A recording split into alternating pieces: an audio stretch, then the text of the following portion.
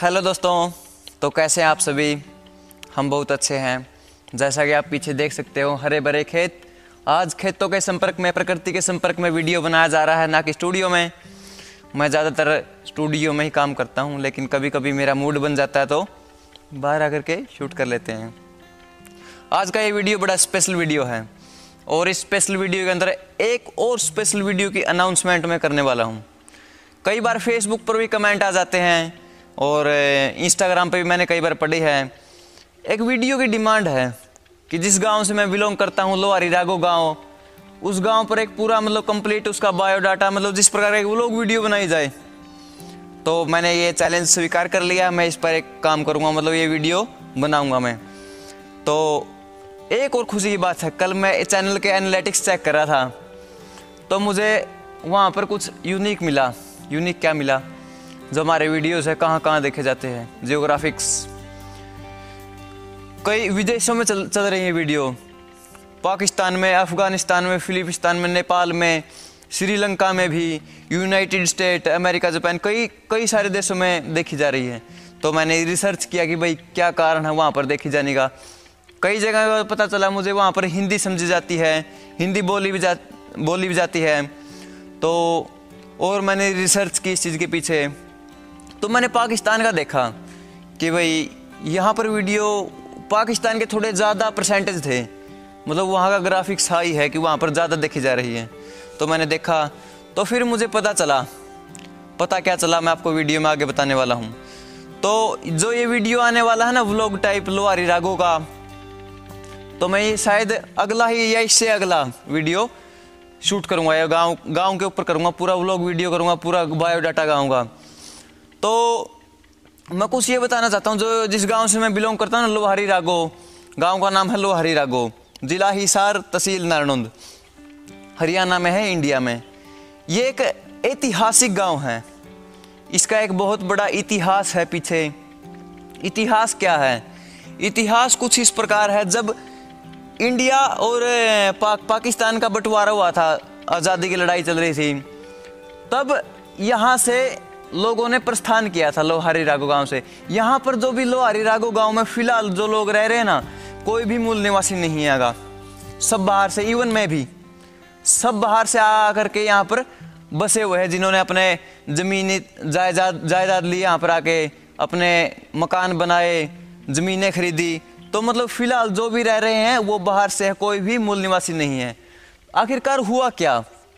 हुआ कुछ इस प्रकार, जब मतलब हिंदू और मुसलमान के बीच में फूट डाली गई। देखो, हमारा देश भारत देश एक धर्मनिरपेक्ष देश है।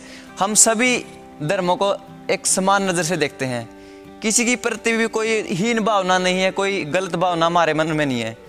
क्योंकि हम सभी धर्म, सभी जातियों, सभी लैंगिक, सबका सम्मान करते हैं। मतलब आपने कभी भी ये चीज़ नहीं देखने को मिली होगी मेरी वीडियोस में, किसी भी प्रकार की कास्टिज्म या मतलब कुछ भी जाति पाति कुछ भी नहीं। हम इस चीज़ के बिल्कुल खिलाफ हैं।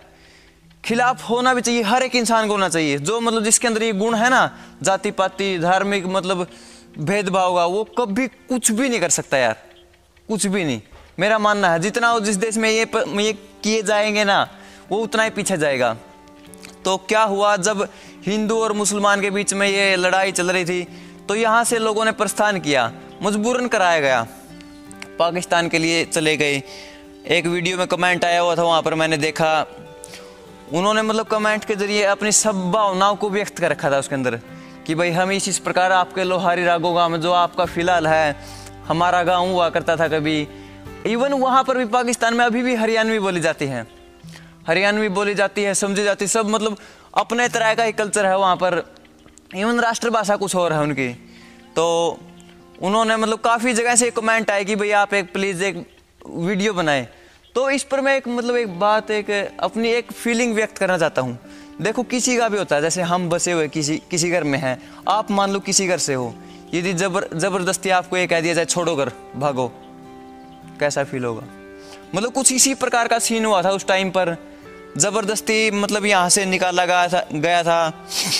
तो जो ये, कहीं पर भी फ़ायदा नहीं हुआ यार, जहाँ पर भी मतलब इस प्रकार के ये फूट हुई तो इस प्रकार का कुछ गाँव का इतिहास है। मतलब काफ़ी सारे यहाँ पर फ़ेमस चीज़ें हैं। मैं आपको एक व्लॉग वीडियो के ज़रिए बताऊँगा, ज़रूर दिखाऊँगा। जो यहाँ पर क्या है, अभी भी मस्जिद है। गाँव में पुरानी जो उन समय के टाइम की है, वो मस्जिद है, वो भी मैं आपको अगले व्लॉग में दिखाऊँगा। तो एनालिटिक्स देखकर मुझे अच्छा लगा कि वहाँ पर देखो, कोई भी जगह, जहाँ से मतलब कोई जाता है ना उस जगह को मिस ज़रूर करता है यार। किसी भी प्रकार से मतलब कि वजह वजह चाहे कुछ भी हो, लेकिन मिस तो करता है यार इंसान। देखो, आज भी मतलब सर्च करते हैं वो लोग, लुबारी, रागो, जहाँ पर ही रहते हैं। देखो ईस्ट वेस्ट नॉर्थ साउथ मतलब पूर्व के जहाँ पर फ़िलहाल मैं खड़ा हूँ, वहाँ से पूर्व पूर्व इस तरफ़ है। पूर्व की साइड गाँव है और पश्चिम इस तरफ़ है, सामने की तरफ़। और मेरा है ना, जो घर है, खेतों में है, पश्चिम की, पश्चिम दिशा की और हालाँकि कोशिश करूँगा मैं ड्रोन शॉट जो लोग में है ना, जो ड्रोन शॉट डालने की कोशिश करूँगा। ड्रोन शॉट के ज़रिए आपको बताने की कोशिश करूँगा। मतलब काफ़ी चीज़ें उस वीडियो के अंदर कवर करेंगे। और अब समय हो चुका है। अरे वाह छः मिनट बोलते बोलते छः मिनट पता ही नहीं चला कब बीत गई। तो आज हमने सोचा स्टूडियो से बाहर रिकॉर्डिंग की जाए। तो हम बाहर आ गए।